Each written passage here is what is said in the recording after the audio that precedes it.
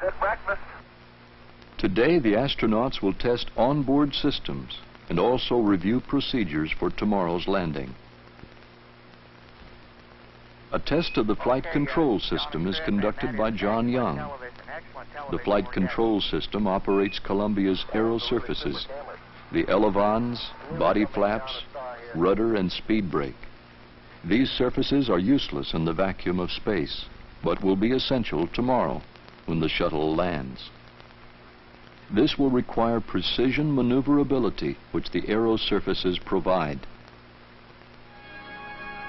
Payload bay door cycling tests help ensure that latching and closing procedures can also be done before entry tomorrow. As with every mission, many pictures of the Earth are taken by the astronauts. Over 500 on this first shuttle flight.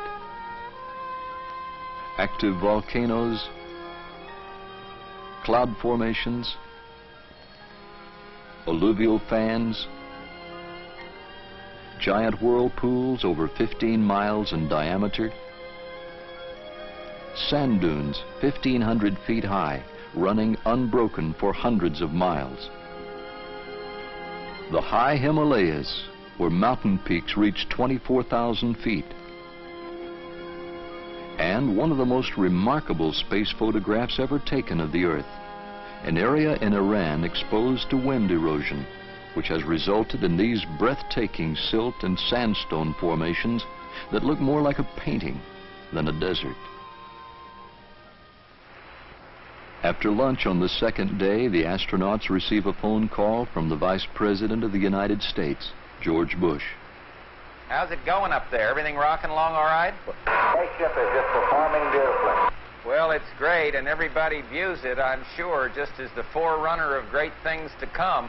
I think your trip is just going to ignite the excitement and the forward thinking from this country, so I really just wanted to call up and wish you the very best. We certainly appreciate it, Mr. Vice President. The crew also don and check out the ejection suits they will wear during entry. Young, Crippen, and Columbia pass every test. They are ready for the final phase of the mission, entry and landing.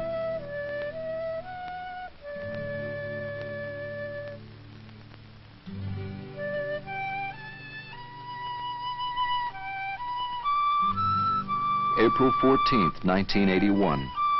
NASA's Dryden Flight Research Center on the edge of Rogers Dry Lake Bed in California. A recovery convoy of 24 vehicles and more than 100 personnel are assembling here to power down Columbia after landing. Enormous crowds are also beginning to arrive. A string of traffic six miles long waits to enter the base. Thousands more are already here. Close to one half million people will eventually be on hand to see the landing. On board, the astronauts suit up for entry. The ascent and orbital phases of the mission have gone extremely well. Now the final phase must be completed.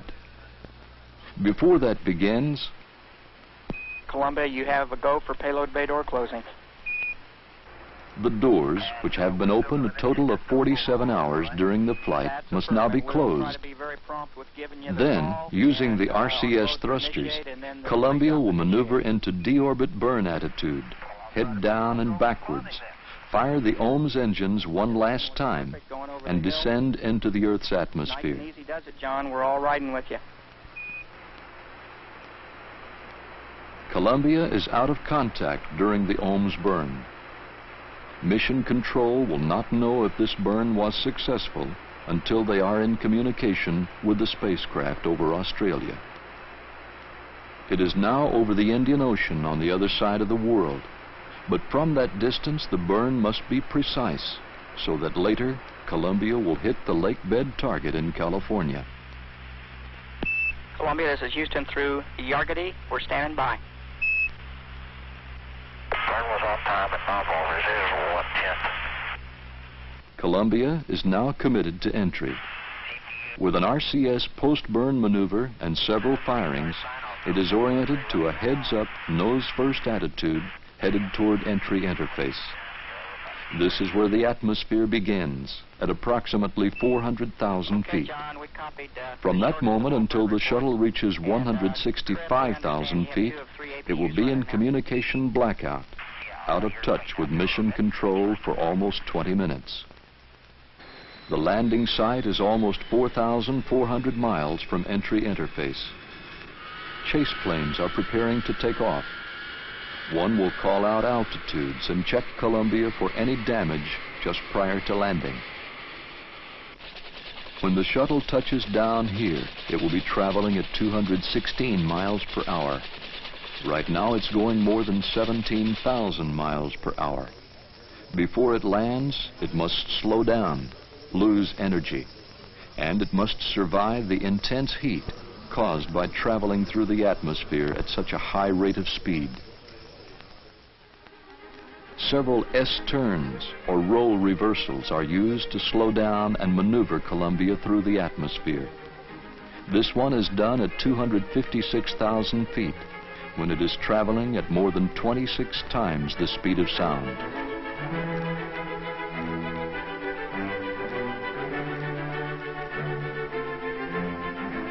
This one is done at 208,000 feet. During these two roll reversals, entry heating is most severe, with temperatures reaching 2,500 degrees some places on the vehicle. The aluminum skin will melt at 320 degrees. The silicate tiles must insulate the vehicle from the tremendous heat.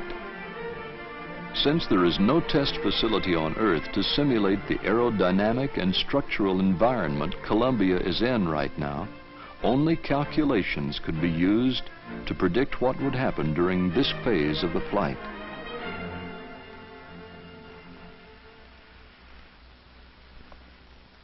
The predictions and calculations had to be right. Hello there. Houston, uh, Columbia's here. Hello, Columbia. Houston's here. How do you read? Flying clear, and we're doing uh, Mach 10.3 at 180 AS. And we couldn't agree more, John. Your state vector's good.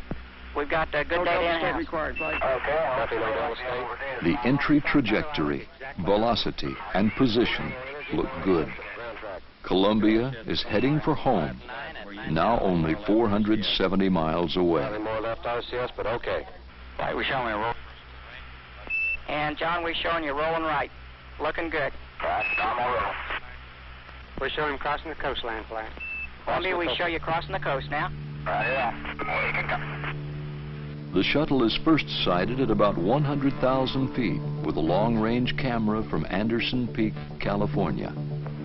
What a way to come to California. And flat plateau, I still look perfect right on the nominal. Roger that. Out of 112K, 4.8 Mach.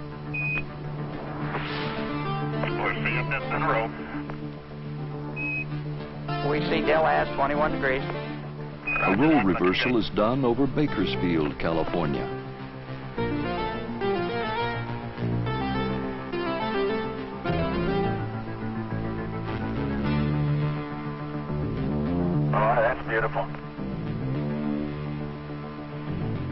Chase has a tally. Roger, checking. And we're seeing 1.3 Gs coming around the HAC. Roger that. The astronauts are making the final turn to line up with the runway.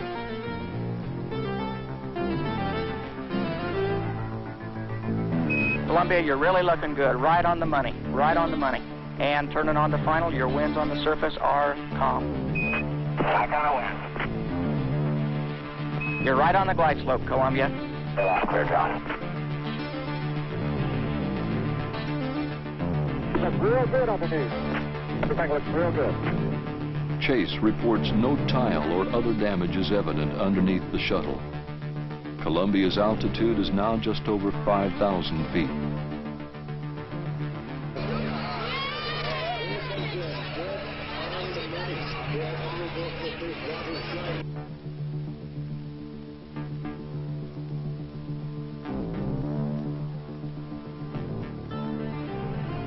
Pretty clear. Without power, Columbia must land. It cannot make another attempt. They're coming. They're down.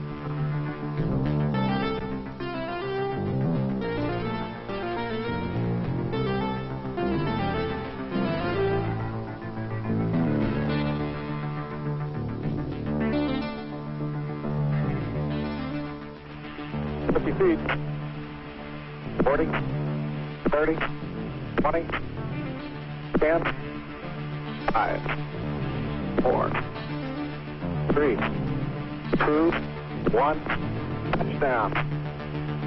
That was gear 10. Five, four, three, touchdown. Look it off, skipper.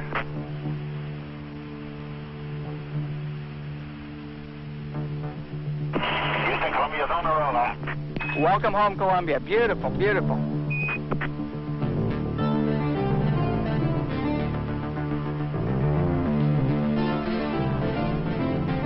Us to take it up the hangar, Joe?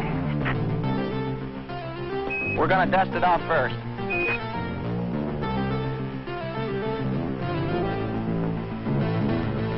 This is the world's greatest all-electric flying machine, I'll tell you that. It was super.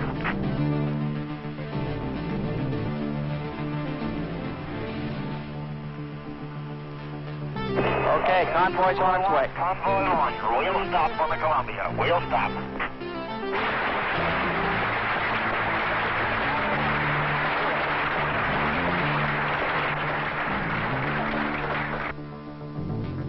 Maiden voyage of Columbia has been a success. The astronauts and the vehicle have met or exceeded all 144 flight test objectives. The integrity of all the systems, propulsion, avionics, structural, flight control, power, and thermal have been affirmed.